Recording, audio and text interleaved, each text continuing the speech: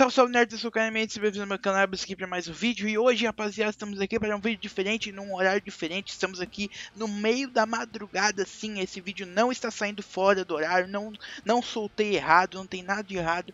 O vídeo está saindo sim de madrugada, não sei que hora vai sair Mas está realmente saindo de madrugada, tá? Então, caso você tomou um susto porque recebeu a notificação Fica tranquilo, porque é um vídeo de Break News. Como eu falei, vamos ter Break News e notícias que não podem esperar não vão esperar. E assim como essa, tá? Porque acabou de sair novas informações, um tópico inteiro, vocês estão vendo aí na tela, né? Várias informações sobre Agatha Coven of Chaos, a série que deve trazer a nossa feiticeira escarlate de volta, que também está nesse vazamento e várias outras coisas incríveis. Então, hoje eu vim trazer, já vim trazer o mais rápido possível. Eu tô gravando isso aqui meia-noite e meia, não sei quando vai sair, provavelmente umas 3 da manhã esse vídeo deve estar saindo e eu vim trazer o mais rápido possível, porque essa é uma das notícias que não podem esperar, tá? É um dos vazamentos que não podem esperar. Lembrando, antes de tudo, é um vazamento, tá? Então, assim, pode ou não pode acontecer e pode conter spoiler, tá? Então, caso você não queira levar spoiler, porque realmente está bem completo isso aqui, então é muito difícil você falar que não vai querer acreditar em algumas coisas que estão acontecendo aqui. Então, cuidado, tá? Cuidado com o que você vai ver nesse vídeo, porque pode ser spoiler, tá?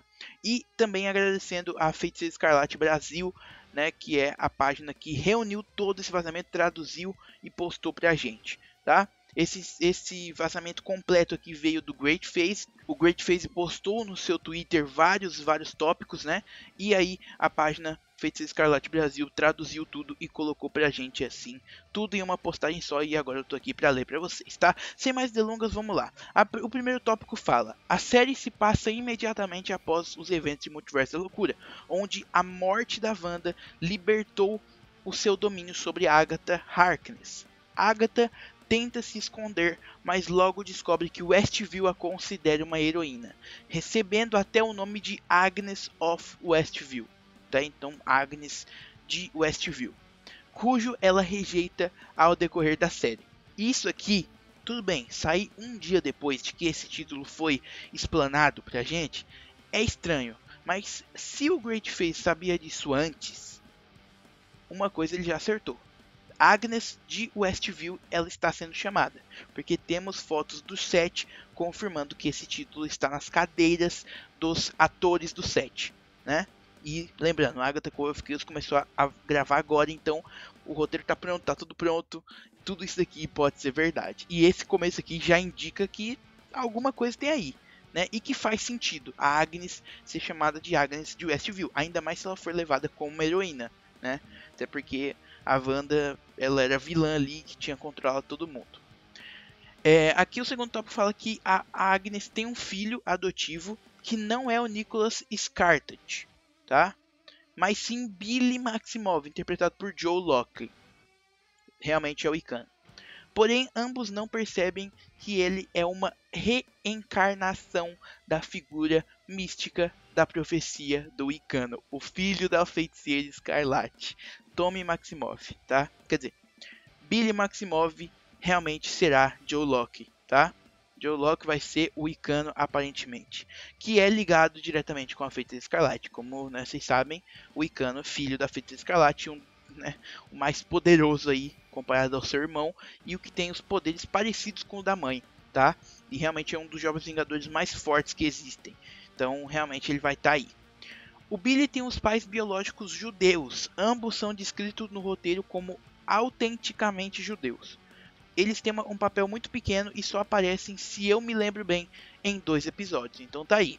O Great Face, que foi quem publicou tudo isso aqui, realmente parece ter acesso, né, parece ter tido acesso ao roteiro. Lembrando, como eu falei, Agatha Cove of Chaos está sendo gravada, então não é nada impossível ele ter realmente o acesso a esses roteiros ou alguém ligado a ele ter esse acesso a esse roteiro e passar para ele a informação, né?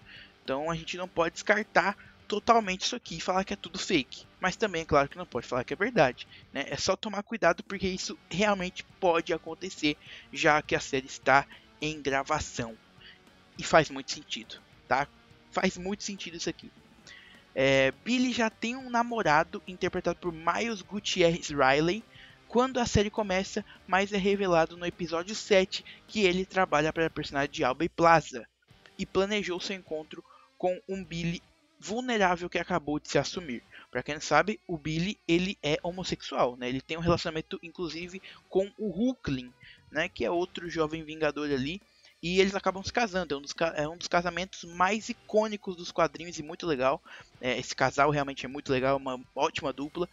E fazem parte de uma equipe mais conhecida, né? Que é os Jovens Vingadores. E aparentemente aqui ele vai conhecer esse Miles Gutierrez Riley, que, que, é o ator né, que faz esse, esse, personagem, que está comandado pela Aubrey Plaza, que é a grande vilã. A gente não sabe qual que é o papel da Aubrey aqui, mas ela é a grande vilã e está controlando esse novo namorado do Billy, né? Que acabou de se assumir, aparentemente. Wanda faz o seu retorno surpresa no nono episódio. Isso daqui me deixou muito feliz. E, cara, vai ser legal. Eu já venho falando há muito tempo que eu acho que ela deve voltar em Agatha Coven of Chaos. E se isso acontecer, se isso aqui for verdade, eu acertei, tá? Ela volta aparentemente de surpresa no nono episódio, revelando que ela não morreu, mas estava simplesmente sem os poderes. E aí temos um problema, porque a minha outra teoria era que ela tinha virado a deusa do caos. Mas aí eu vou colocar outra teoria aqui no meio de tudo isso aqui.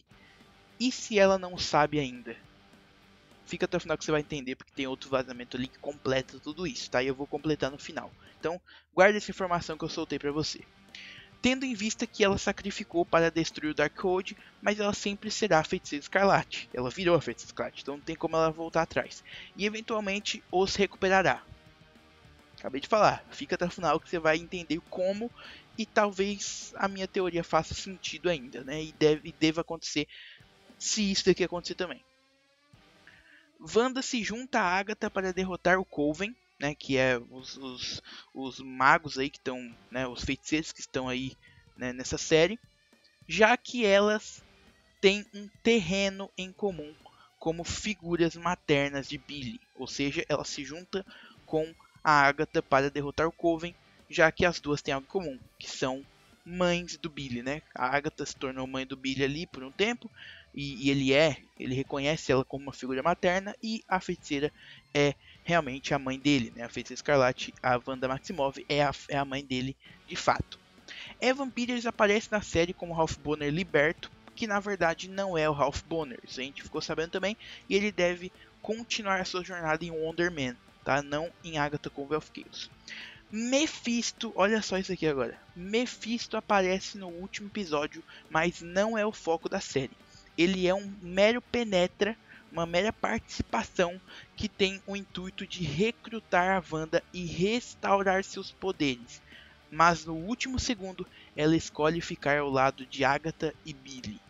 Ou seja, recusa ter os seus poderes de volta para ficar agora em paz com a sua família, que é a Agatha e o Billy. Legal, gostei disso e gostei dessa aparição. Gostaria muito de ver essa aparição do Mephisto, hein? Agatha cria uma nova roupa para si com toques de roxo e prata, que é mais uma roupa justa que nem um vestido, sem as ombreiras. No episódio 7, sua reputação de heroína infla e seu ego, e ela perde o Billy de vista, que é capturado pelo Coven no final. Ou seja, ela tem o ego de heroína e acaba perdendo o Billy de vista, acaba se descuidando e acaba né, se deixando levar e deixando seu ego aumentar. Né? Legal isso aqui, legal isso aqui. O Tommy, que é o irmão né, do, do Billy, o outro filho da Wanda, não aparece no episódio 1, 2, 3, 5, 7, 8 e 9. Ou seja, o 4 e o 6 ele não sabe. Tá? O Great Face não fala nada sobre o 4 e o 6. É, e ele ainda coloca parênteses. Eu vi o roteiro das filmagens principais e as fichas de chamada, então presumo que ele não esteja nessa série. E o Hulkling, que é o marido do Icano nos quadrinhos, também não está tá? Então, como ele falou aí, ele viu o roteiro das filmagens e as fichas de chamada e nenhum dos dois constam ali. Lembrando que tem o quarto e o sexto episódio que ele não listou aqui, né?